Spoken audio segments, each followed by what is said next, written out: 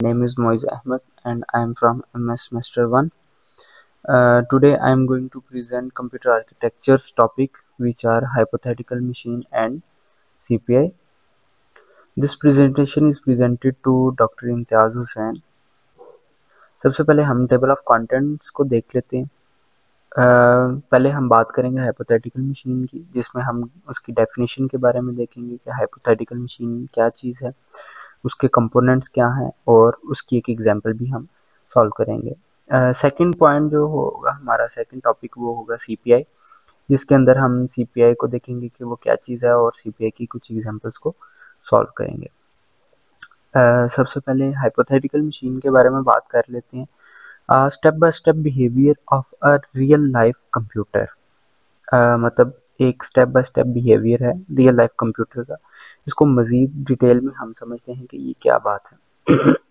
सबसे पहले डेफिनेशन की अगर बात करें तो हाइपोथेटिकल वर्ड हाइपोथेसिस से निकला है। हाइपोथेसिस का मतलब होता है गैस करना या कोई आइडिया लगाना। मींस ये जो गैसेस होते हैं या जो आइडिया लगाया जाता है, ये एक एक्सपेरिमेंट परफॉर्म करके लगाया जाता है। तो इन शॉर्ट हम इसको ये कह सकते हैं कि एक इन्फॉर्म गेस करना, ठीक है? हाइपोथेसिस से ही वर्ड निकला हाइपोथेटिकल जिसका मतलब है कि इन्फॉर्म गेसेस अच्छा अब हाइपोथेटिकल मशीन क्या चीज़ है? हाइपोथेटिकल कंप्यूटर एक ऐसा मॉडल है जो कि रियल लाइफ कंप्यूटर के बिहेवियर को डिस्क्राइब करता है। मतलब जो हमारे जनरल पर्पस कंप्यूटर्स हैं उनके बिहेवियर को ये डिस्क्राइब करता है कि वो कैसे काम करते हैं। आ, ये सिर्फ़ एक मॉडल होने की वजह से आ, इसके अंदर प्रॉपर जनरल कंप्यूटर वाली कैपेबिलिटीज़ नहीं होती लेकिन हमें ये एक ओवरऑल आइडिया दे देता है कि हमारे जनरल पर्पस कंप्यूटर्स लाइक हमारे लैपटॉप टीवी ये मोबाइल्स डेस्कटॉप कंप्यूटर्स, ये इनके बारे में आइडिया दे देता है कि ये कैसे वर्क करते हैं। इसके आर्किटेक्चर की बात कर लें तो सबसे पहले मेमोरी आ जाती है। मेमोरी में हम रैम की बात करते हैं, जिसको हम मेन मेमोरी भी कहते हैं। और इसके अंदर एक मेन इंपॉर्टेंट पॉइंट ये है कि इसमें 16 बिट मेमोरी रिक्वायर्ड होती है सिंगल इंस्ट्रक्शन को स्टोर करने के लिए।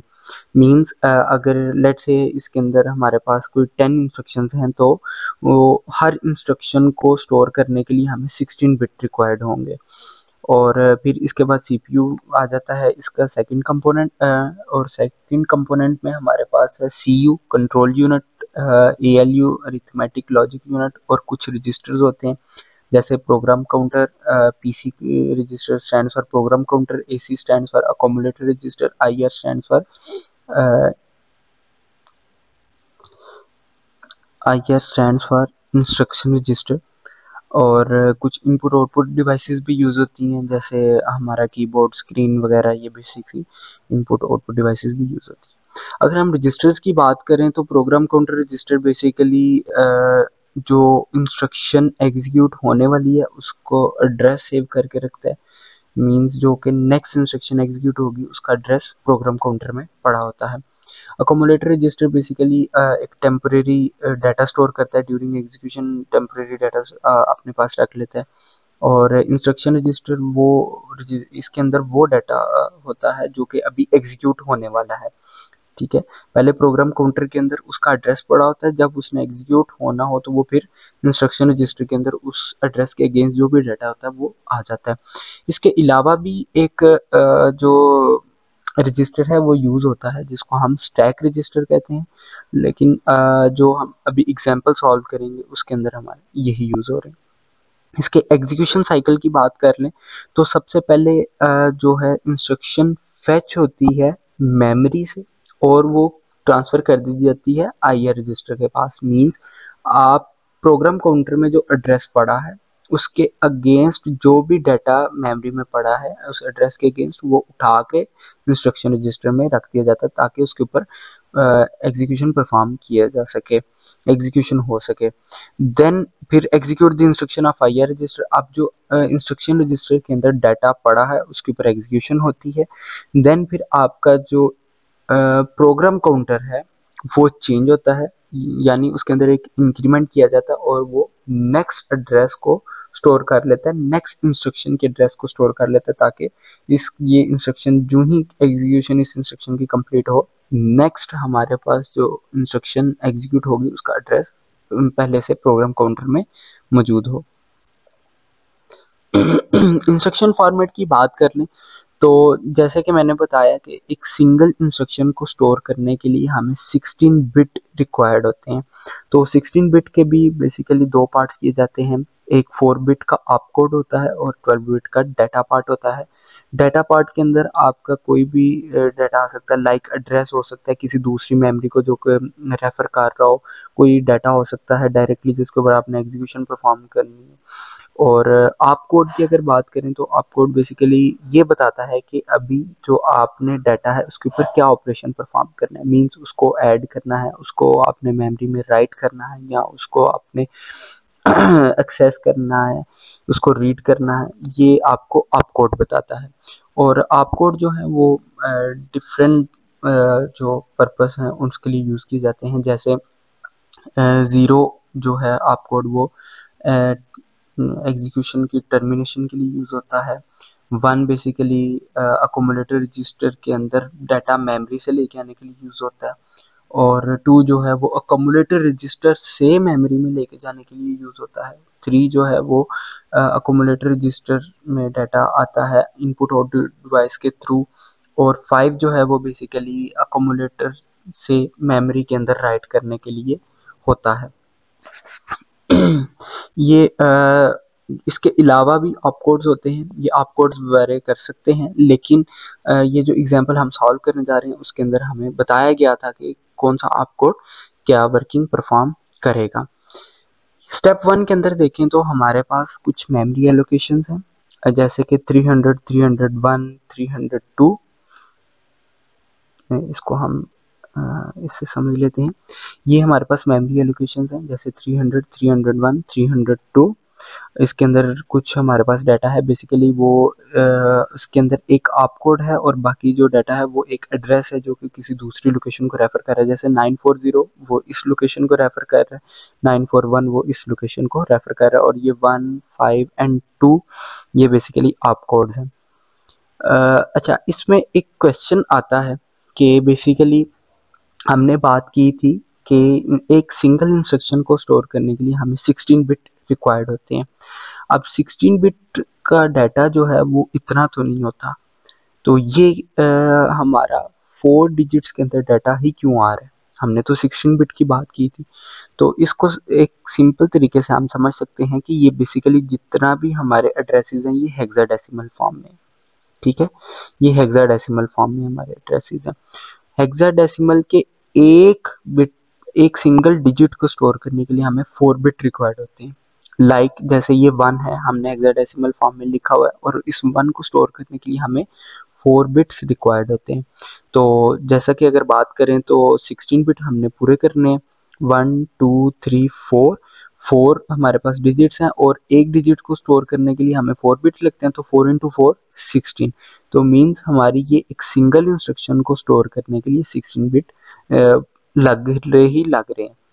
बस ये हेक्साडेसिमल फॉर्म के अंदर है हमारा डाटा सो इस वजह से ये थोड़ा सा शॉर्ट फॉर्म में वरना ये 16 बिट ही स्पेस ऑक्यूपाई कर रहा है। अच्छा प्रोग्राम काउंटर के अंदर देखें तो सबसे पहले वो इंस्ट्रक्शन जिसने एग्जीक्यूट होना है, उसका एड्रेस आ जाता है, जैसे जो इंस्ट्रक्शन 1940 है, उसने एग्जीक्यूट होना है तो उस, उसका एड्रेस हमारे पास प्रोग्राम काउंटर में आ गया। जब प्रोग्राम काउंटर में हमारे पास एड्रेस आ गया। देन आईआर को भी अपडेट किया जाता है। आईआर में उस एड्रेस के अगेंस्ट जो भी डाटा होता है, वो उठा के आईआर में रख दिया जाता है। अब आईआर में उसका डाटा आ गया है। नेक्स्ट स्टेप टू में अगर हम बात करें तो जब हमने आईआर के जो डाटा है, उसके ऊपर एग्जीक्यूशन परफॉर्म की तो उसमें हमें क्या मिलता है कि वन जो है ये ऑपकोड है। ऑपकोड क्या कहता है कि आपने लोड करना है अकोमुलेटर रजिस्टर में मेमोरी से। और कहाँ से आपने डाटा लोड करना है? नाइन फोर ज़ीरो से। मीन्स नाइन फोर ज़ीरो पे हमारे पास पड़ा है ज़ीरो ज़ीरो ज़ीरो थ्री और वन का मतलब है कि इसको अकोमुलेटर रजिस्टर में ले जाओ मेमोरी से। तो हमने इसको ऐसे ही किया जब triple zero three accumulator register में चला गया। एग्जीक्यूशन कंप्लीट हो गई तो फिर हमारा प्रोग्राम काउंटर भी अपडेट हो गया, जो कि थ्री ज़ीरो वन हो गया। पहले थ्री डबल ज़ीरो था, अब थ्री ज़ीरो वन हो गया। अब स्टेप थ्री में क्या हम बात करते हैं? स्टेप थ्री में जब प्रोग्राम काउंटर हमारा अपडेट हुआ तो फिर अब उस एड्रेस न्यू एड्रेस के अगेंस्ट जो भी डाटा था, वो आईआर रजिस्टर के अंदर आ गया। जैसे कि 301 पे था 5941 अब वो आईआर में पड़ा हुआ है। अब जब हमने आईआर के इस डाटा के ऊपर एग्जीक्यूशन परफॉर्म की तो हमें पता लगा फाइव का मतलब है सम करना फाइव का मतलब है सम करना, और किस एड्रेस के डाटा के साथ हमने सम करना है नाइन फोर वन अब नाइन फोर वन पे क्या पड़ा है ट्रिपल ज़ीरो टू तो हमारे पास अकोमोलेटर में पहले क्या था? ट्रिपल ज़ीरो थ्री और प्लस हमने किया नाइन फोर वन के साथ triple zero two triple zero three हो गया हमारे पास टोटल ट्रिपल ज़ीरो फाइव अब अकोमोलेटर में हमारे पास अपडेट होकर क्या डाटा आ गया? ट्रिपल ज़ीरो फाइव मीन्स अब आई आर के अंदर जो डाटा पड़ा था उसके ऊपर एग्जीक्यूशन कंप्लीट हो गई। देन प्रोग्राम काउंटर अपडेट होगा। अब प्रोग्राम काउंटर पहले 301 था, अब 302 हो गया। नेक्स्ट अब जब प्रोग्राम काउंटर 302 हुआ देन ऑब्वियस सी बात है कि फिर अब इंस्ट्रक्शन रजिस्टर भी अपडेट होगा। अब इंस्ट्रक्शन रजिस्टर उस एड्रेस uh, के अगेंस्ट जो भी डाटा था वो इंस्ट्रक्शन रजिस्टर के अंदर आ गया जैसे टू नाइन फोर वन अब वो इंस्ट्रक्शन रजिस्टर के अंदर आ गया। जब इंस्ट्रक्शन रजिस्टर के अंदर डाटा आ जाता है तो फिर ऑब्वियस सी बात है उसके ऊपर अब एग्जीक्यूशन भी परफॉर्म होगी। अब एग्जीक्यूशन के टाइम पे हमने देखा टू का मतलब है कि अकोमुलेटर रजिस्टर से जाके आप मेमोरी में स्टोर करो। अकोमुलेटर रजिस्टर से मेमोरी में डाटा जाके स्टोर करो। तो किस एड्रेस पे हमने अकोमुलेटर का डाटा उठा के रखना था? 941 पे। मींस 941 पे पहले क्या था? ट्रिपल ज़ीरो टू लेकिन अब हमने जब देखा कि टू का मतलब है जी कि अकोमुलेटर रजिस्टर से डाटा उठा के 941 पे स्टोर कर दो तो अकोमुलेटर रजिस्टर में था ट्रिपल ज़ीरो फाइव तो उसने ट्रिपल ज़ीरो फाइव को रख दिया और ट्रिपल ज़ीरो टू को डिलीट कर दिया। मीन्स ये ओवर हुआ है ट्रिपल ज़ीरो टू की जगह ट्रिपल ज़ीरो फाइव आ गया। अब ये वाली इंस्ट्रक्शन भी हमारी एग्जीक्यूट हो गई आईआर की।